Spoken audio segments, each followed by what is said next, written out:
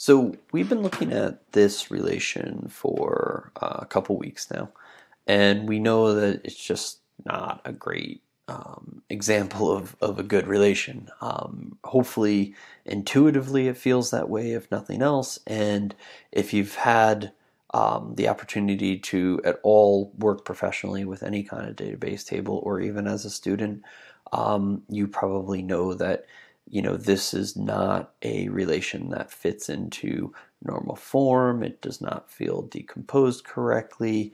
Um, things here don't necessarily relate. There's lots of repetitive data. Um, the keys don't make a lot of sense necessarily and, and feel all that rigid. And all of these intuitions are correct. And of course, I've been hinting at them throughout. And we're now going to look at uh, the process of fixing that. So, what I want to say is kind of like right off the bat, um, in order to, to fix it, it's kind of good to start with something to fix. So, uh, that's what we've been doing. And I hope, you know, as we go through this and as you see the process, it will help define that process for you so that you know how to look at something like this and decompose it correctly into um, relations that meet some kind of normal form standard, whether it's third normal form or, or more or Boyce-Codd normal form, whatever it is. And we're going to look at different parts of that. But before we do, we have to first find out what are the actual problems. Like it's one thing to say you can just kind of like, you know, have some intuition on it, but it's another thing to actually define it so that it's reproducible. So let's do that now. So we're going to discuss uh, three types of anomalies right now that we care about for decomposition. Um, these anomalies are redundancy, update anomalies, and deletion anomalies. So, to kind of flesh them out a little bit more, redundancy is exactly what it sounds like. Um, it's all that redundant information, uh, like we saw just before, like the the movie lengths were repeated, the studios were repeated, things like that. Update anomalies are um, problems that can occur because we have redundant information. If you change one piece of information and there's redundant copies of it, what happens to those copies? Deletion anomalies are a little bit trickier. Deletion anomalies are when our data is not distilled correctly, when we don't practice good decomposition, we might run into a situation where deleting a piece of data that feels ancillary ends up deleting other data that is unintended. So you can't necessarily just delete this one little side piece kind of fact without deleting the whole thing. And that's not what you want. And we'll we'll show that through an example specifically in our movies. So we're of course going back to our movies uh, relation here with the attributes title, year, length, genre, studio name, and star name. So let's take a look at that. So redundancy should jump out at you. It's redundancy all over, right? We have year being redundant. We have length being redundant. We have genre being redundant. We have studio name being redundant. Now, I shouldn't have really said year, and I apologize. Just my eye went to it, and I said it. Year is is technically part of the key, so we're we're not going to count that. But length, genre, studio name are most definitely redundant here. And let's let's rewind. It'll help, I think, if we rewind a little bit um, to discover why, just to kind of like put that back into perspective. Remember, there was a version of this relation that did not have star name that we started with, right? And that was kind of early on in talking about keys. And we decided that with title and year, we could define um, a closure on, on functional dependencies that all the functional dependencies were good with. So um, we could describe length, genre, and studio name by title and year. So that makes sense, right? If you have a movie title and a movie year, um, you can have a length and you can have a genre and you can know what studio it came from. But we couldn't have just one star, right? That was something that did not work. So when we were exploring what made a minimal key, we had to, in this case, add star name to the original key, right? So now, for what we're looking at in its entirety, the actual key for this is title, year, and star name, right? But if you think about it, um, star name is only functionally dependent on title, year, and star name. That's a trivial functional dependency, right? It's not something that um, there, there's nothing unique on the right hand side of that functional dependency. Whereas with the other ones, right, there is. If you have title and year, you can have length and genre and studio name on the right hand side, and those are non trivial, right? They mean something. Um, having star name on the right hand side of star name being on the left hand side, we learned was was just trivial, and that's not very meaningful. So that's why we're seeing this uh, data duplication, right? We have to have that extra information come down to accommodate multiple stars. And what happens now if we do an update, right? What happens if we update the length of the first Star Wars row? Let's change the 124 for the Carrie Fisher Star Wars row to 125. And that doesn't change the Mark Hamill or Harrison Ford ones, so they're still 124. And then if you come back at some future date and look at this data, how do you know which one's correct, right? I don't have a an update time to tell me when one happened versus, you know, the the others. Um, and even if I did, it it made a mess. I wouldn't want to do that, right? What if I change the genre on one to something else besides sci-fi call it action? I don't know. Again, this is a problem.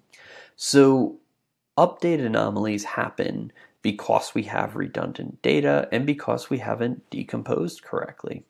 A deletion anomaly is a little bit different. So for a deletion anomaly, I'm going to pick on the Gone with the Wind row, and we're going to delete uh, Vivien there.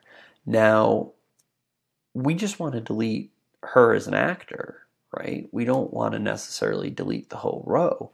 But remember, we just said that our key is title, year, and star name. So if we delete her, we're deleting part of the key, which makes the whole tuple invalid, which means we lose studio name, genre, length. The whole movie is gone, right? All we wanted to do was remove Vivien from the movie for whatever reason, um, and maybe add some other actor or whatever.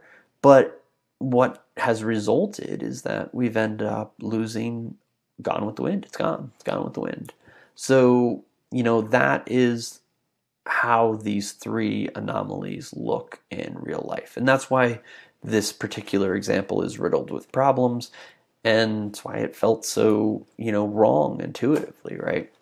So how do we fix it? So we fix it with decomposition. And decomposition is the accepted way to eliminate these anomalies. Um, and what we do is we take the relation and we split it into two sets of attributes into two new relations. Now, you might end up ultimately with more than two relations from one, but you always go through the process of decomposition from the perspective of having one relation and ending up with two. The two you end up with may again split, but it's always a process of from one to two as you iterate through it. It's also important to note that this process must be lossless. So when I'm done, I have to be able to um, be able to project back with a natural join, and I have to be able to get back to the place that I was before. Okay, so that's important. We'll look at that more, um, but don't lose sight of that fact. It's it's kind of easy to look at the splitting, um, but it's very important to denote that the keys are done in such a way that when you do the join, you can get back to the original relation that you had and not some other version of it where there are, say, more or less tuples. Um, formally, we can kind of define decomposition by saying we have our original relation with attribute set a1 through an there, and we're going to end up with two relations uh, s with attributes b1 through bm and T with attributes C1 through CK. And it has to be done in such a way which makes sense that the union of attributes B1 through BM and C1 through CK uh, would be the same as what is in A1 through um, AN, right? So that, that just kind of intuitively makes sense. So let's go ahead and we're going to try to now decompose our movies. The title, um, so our original, our R of attributes A1 through AN is, in this case, title, year, length, uh, genre, studio name, and star name. And we want to end up with two relations uh, with sets uh, B1 through BM, which is going to be title, year, length, genre, and studio name, and C1 through CK, which is going to be title, year, and star name. So let's see um, how we do that. We're going to define the process we're about to go through um, as Boyce Codd normal form. So Boyce Codd normal form is going to be the structure by which we decompose and we verify that we've reached a state of being in Boyce Codd normal form. The way that we verify we've reached that state is that for every non trivial functional dependency that we have um, in our original relation, the left side of it is a super key of the relation.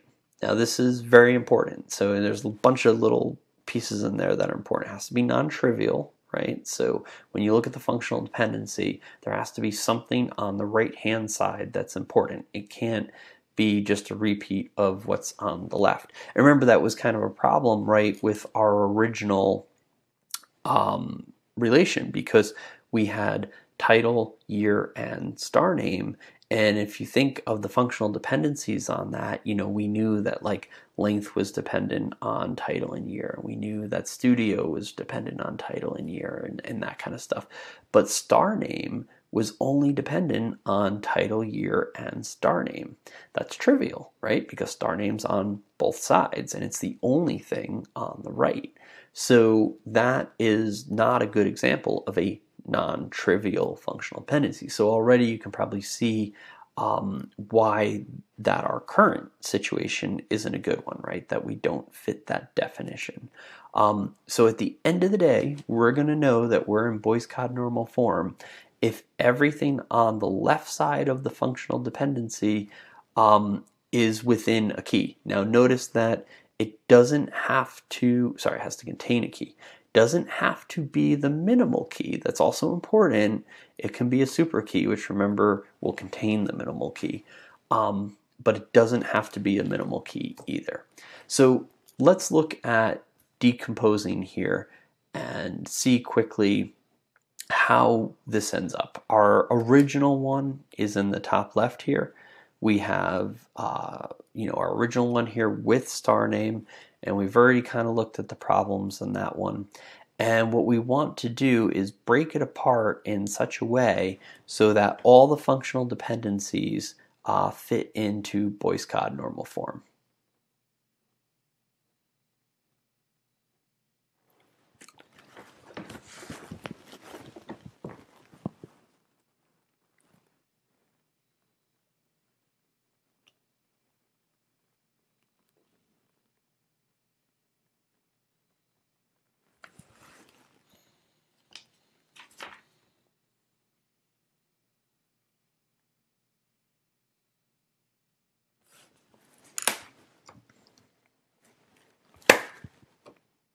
So the way to do that is to make sure, just like we said here, that every non-trivial functional dependency for the relation is a super key of the relation. So the left side of the functional dependency um, needs to contain a key. So if we go back and we look at that original title and year, because we know now that star name is not really useful and, and it's trivial and it's just not fitting the bill.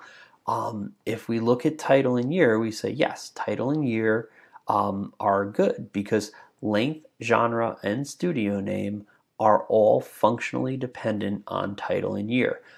Is title and year part of the key? Well, not in its current form, but if we break it into two pieces, it is. So if you look down at the bottom here, you can see that having length, genre, and studio name paired with just title and year fits the definition of Boyce-Codd normal form. All of the functional dependencies, which are non-trivial because length, genre, and studio name are on the right and title and year are on the left, are in fact part of the key. So we are good there. What's left over now becomes the other table, and that is basically star name. Now we're going to use title and year to draw the join because remember we need to do this in such a way that we can put it back together that's absolutely key right so when we do a natural join and we project this we have to be able to do it and we'll look a little bit deeper at decomposition in another example but we have to do it in such a way that as we said before we can put it back together. So if you remember back to when we were looking at uh, some basic joins, we said that, you know, if you had, let's break it down to just like A, B, and C, right? So if you had table or relation one and you had attributes A and B, and then you had relation two and you had attributes B and C, we knew that we could join on B, right? And if you had, we looked at ones where we had like a couple of tuples in each, and say like b the value of b was 2 in in both of the tuples then whatever the values of a were and whatever the values of c were would get combined into the into the the joined relation right and that's what we're looking at here we're looking at what happens when we join on title and year and we put the whole thing back together and we end up with the original